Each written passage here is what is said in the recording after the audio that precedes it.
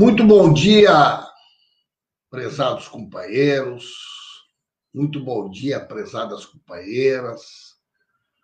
Muito bom dia, queridos amigos e amigas de todo o Brasil que acompanham aqui a Rede da Resistência. Sejam muito bem-vindos, sejam muito bem-vindas. Olha, gente, eu confesso para vocês que cada dia que passa eu estou mais perplexo, né? Eu, eu diria mais incrédulo com as revelações do que faziam das práticas, das condutas dessa equipe da Lava Jato. Né? Realmente, gente, é assustador. É assustador. Né? Quando a gente lê uma notícia de que essa delegada, Érica, Érica, Érica Marena, que na realidade era a principal delegada, era a principal delegada da Lava Jato teria, entre outras coisas, forjado depoimentos, forjado depoimentos, incluído no inquérito depoimentos de pessoas que nunca, nunca foram dados. Eu fico imaginando o que, que é possível o sistema de justiça fazer contra um cidadão. Porque vejam bem, nós não estamos falando aqui de uma investigação qualquer. Nós estamos falando de uma investigação que envolve ex-presidentes da República, com grande acompanhamento da mídia, né, do Conselho Nacional do Ministério Público, do. E se numa investigação como essa, se numa investigação como essa, foi possível tantas irregularidades. Vocês imaginam o que, fazem com um cidadão comum? Se uma delegada da Polícia Federal, uma das mais importantes delegadas da Polícia Federal do país, num inquérito complexo, difícil, de enorme repercussão como essa, tem a desfaçatez de incluir no inquérito né, um depoimento que nunca foi dado. Bom dia, Carol. Presidência do PT de Passo Sobrado precisa falar comigo. Tá bom, vamos ver quem é, Carol. Vamos ver com quem que eu falo aí. Tá? É... Vocês imaginam o que, que fazem na manipulação do inquérito de uma investigação de um cidadão qualquer, gente. De um cidadão comum, Jussara. Pelo que eu entendi, pelo que eu entendi, pelo que o procurador fala para o outro procurador, a delegada eh, chamou um escrivão e, como se diz na, na linguagem né, juridiquês, tomou a termo, tomou a termo o depoimento sem que efetivamente ele tivesse acontecido. A delegada diz assim para o escrivão: uh, redige aí. No dia tal, de tal, compareceu essa delegacia, fulano de tal, morador da rua tal, número tal, CPF número tal, passou a prestar as seguintes informações. Só que a pessoa não estava ali, era ela mesma que ditava. Áteros. N vereador de Rosário Sul, era ela mesma que ditava. Ela era, é, é, é, era ela que criava o depoimento. Eu nunca vi nada igual. Eu nunca vi nada igual. Agora, eu quero ouvir, eu quero dar à delegada o direito que ela não deu Quero dar à delegada o direito que ela não deu às pessoas, que é a oportunidade dela apresentar a versão dela. Eu quero que ela dê a versão dela, eu quero que ela diga que isso é mentira. Eu quero que ela mostre para nós que isso que os procuradores fizeram não é verdade.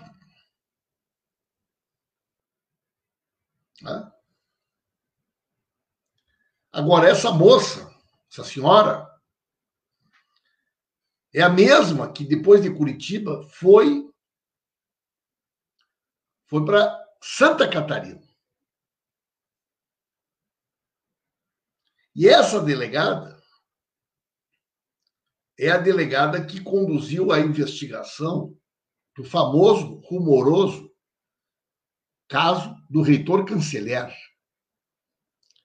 Aquele que, reitor que, diante de tantas humilhações que sofreu, acabou se suicidando, acabou se matando. O reitor, o reitor que respondia uma, uma, uma, uma investigação administrativa, administrativa na universidade, uma coisa absolutamente corriqueira e normal.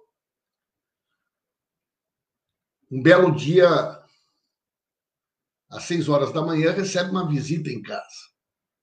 Dezenas de policiais federais com capuz, com roupa de ninja, armas de grosso calibre. Segundo consta, boa parte daqueles policiais vieram de outros estados.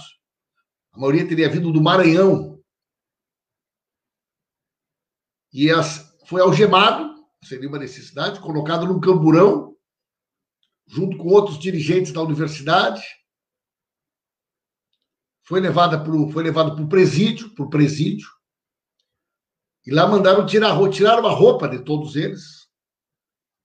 E teriam ficado não sei quantas horas no pátio, despidos. Dois dias depois, um dia depois, ou dois dias depois, o reitor foi mandado para casa.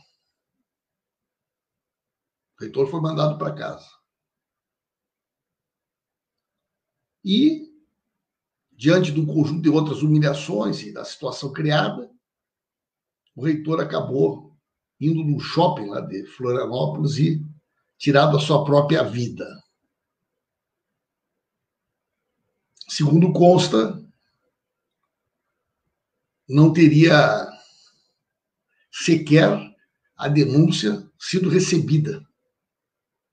E esta senhora, esta senhora, era delegada que. Depois ela foi para Sergipe. E quando o Moro virou ministro da Justiça, ela foi levada a ocupar um alto cargo no Ministério da Justiça. Ela, ela era da equipe do Moro, da equipe que foi trazida pelo Moro para o Ministério da Justiça. Eu quero perguntar para vocês, gente, com muita muita tranquilidade, muita tranquilidade, independente de qualquer questão de natureza ideológica, independente de qualquer compreensão ou de opinião das pessoas sobre o presidente Lula, sobre o PT, independente de qualquer conteúdo ideológico partidário, a pergunta que nós temos que nos fazer, a pergunta que nós temos que nos fazer é a seguinte: isso é justiça? Na concepção de vocês, isso que a Lava Jato fez, que a delegada fez, que os procuradores faziam, que o juiz fez, isso é justiça? Vocês gostariam de serem julgados num sistema de justiça que permite, que aceita, que essas práticas sejam utilizadas? Vocês gostariam de ser, de ser julgados num sistema de justiça em que os procuradores combinam com o juiz os procedimentos que serão adotados, quando a lei determina que o juiz deva manter uma equidistância entre as partes, ou seja, O juiz não pode nem ficar do lado da defesa, nem do lado da acusação. O juiz é o juiz. O juiz é aquele que deveria garantir, né? garantir que o julgamento seja justo, seja isento.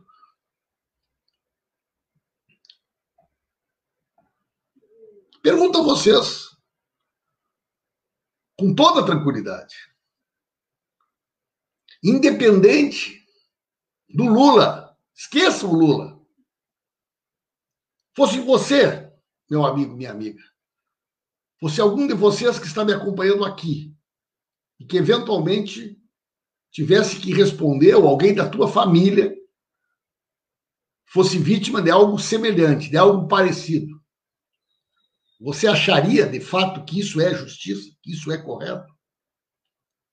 Eu pergunto a vocês, né, e, e peço de coração que vocês reflitam sobre isso. Que vocês reflitam sobre isso. Né?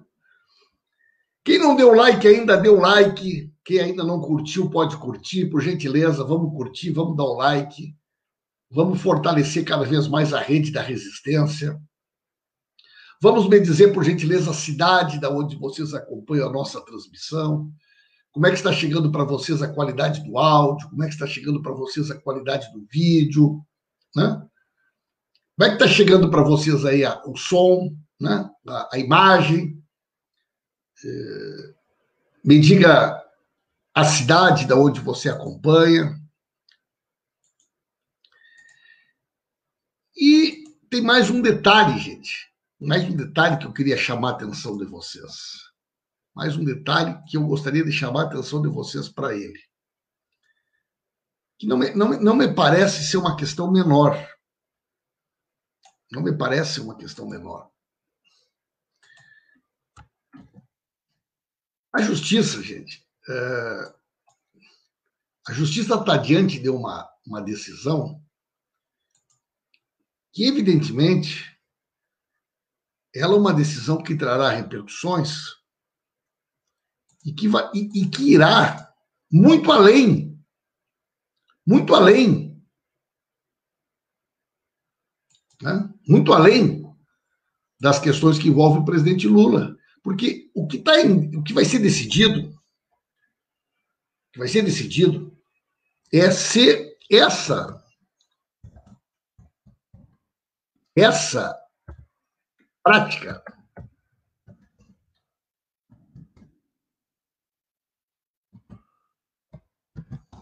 É aceitável.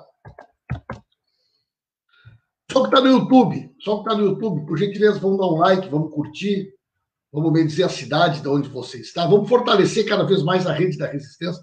Acabei de colocar aqui no YouTube, acabei de colocar aqui no YouTube o link, o link para que você seja integrante do grupo do canal da resistência. Acabei de colocar o link aqui, você também pode ver o super chat. Você que está nos acompanhando, venha para o nosso YouTube, canal da Resistência. Vamos fortalecer cada vez mais o nosso YouTube, canal da Resistência. Né? Está aí o link. Né? Jonas Pereira de Canoas, a Josi de Campinas, o Pedro Lemos. Né?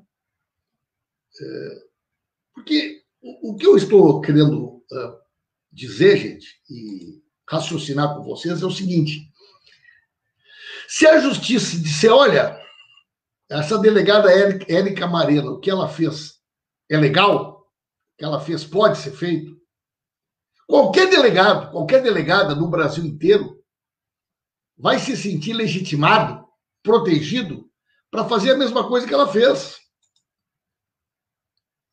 Essa é a questão. Se o sistema de justiça, se o Conselho Nacional do Ministério Público, se o Poder Judiciário entender que a postura do Dallagnol e dos demais procuradores é uma, é uma postura legal, aceitável, por que razão outros procuradores, outros promotores do Brasil inteiro não farão a mesma coisa que eles faziam na Lava Jato? Se a justiça entender que um juiz pode atuar como o Sérgio Moro atuava, combinado com o Ministério Público, combinado com os promotores, se a justiça entender que isso é legal, por que razão outros delegados, outros promotores, outros juízes pelo Brasil afora também, também não poderão adotar estes mesmos procedimentos. É por isso que alguns juristas estão dizendo, é por isso que, meu caro Tiago Vicentini, é por isso que alguns juristas estão dizendo que é, o que está em jogo nessa questão é muito mais do que o Lula. E, de fato, é muito mais do que o Lula. Porque o que está em jogo é a credibilidade do sistema de justiça brasileiro. O que está em jogo, meus queridos companheiros e companheiras, o que está em jogo são os direitos e garantias fundamentais de qualquer cidadão, de qualquer pessoa. O que está em jogo é se nós vamos permitir que a polícia, que o Ministério Público, que o Poder Judiciário manipule provas, persiga as pessoas por interesses políticos, ideológicos. Se nós podemos permitir que o sistema de justiça seja capturado, seja capturado por interesses que com certeza não são os interesses republicanos do combate à corrupção, do desenvolvimento do país, da geração de emprego, da criação de oportunidades. Essa é a questão. Essa é a questão, meus companheiros e companheiras. O que está em jogo, o que está em jogo, é algo que terá repercussão para a vida de muitas pessoas. De muitas pessoas. Porque ela diz respeito ao sistema de justiça. E eu não me canso de dizer, eu não me canso de dizer, o que essa gente fez é inaceitável. É inaceitável. E eu digo mais, gente. Se o Brasil está vivendo uma situação que está vivendo hoje, de caos sanitário, de caos econômico, de crise política, olha o que aconteceu com a Petrobras ontem. Olha o que está acontecendo com a Petrobras. Veja o que está acontecendo nesse país por conta do avanço do coronavírus, um país que não consegue ter vacina.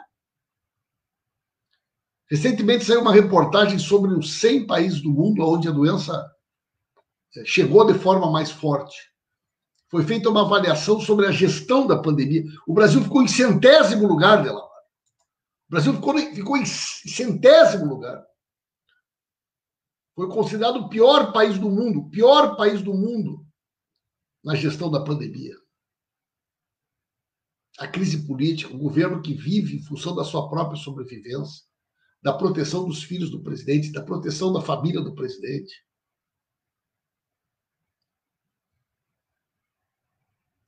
E por quê? Por que um país como o Brasil elege uma figura como Jair Bolsonaro, presidente da República? Auri. Por que um país como o Brasil elege uma figura como Daniel Silveira, como Flor de Lis? Deputados, deputadas. Por quê? Um país que estava crescendo, gerando emprego, promovendo desenvolvimento, respeitado internacionalmente. Por conta do ambiente de ódio, de ressentimento, de quebra da normalidade democrática, que foi produzido em larga medida pela Lava Jato, mas com apoio decisivo da grande mídia, em especial da Rede Globo. Nós não estaríamos vivendo o, o momento que nós vivemos no Brasil hoje sem essa aliança perversa entre a Lava Jato e a grande mídia, patrocinada pelos grandes interesses internacionais, das multinacionais, particularmente as multinacionais que atuam na área do petróleo, é isso que as pessoas têm que entender. É isso que as pessoas têm que entender. Né?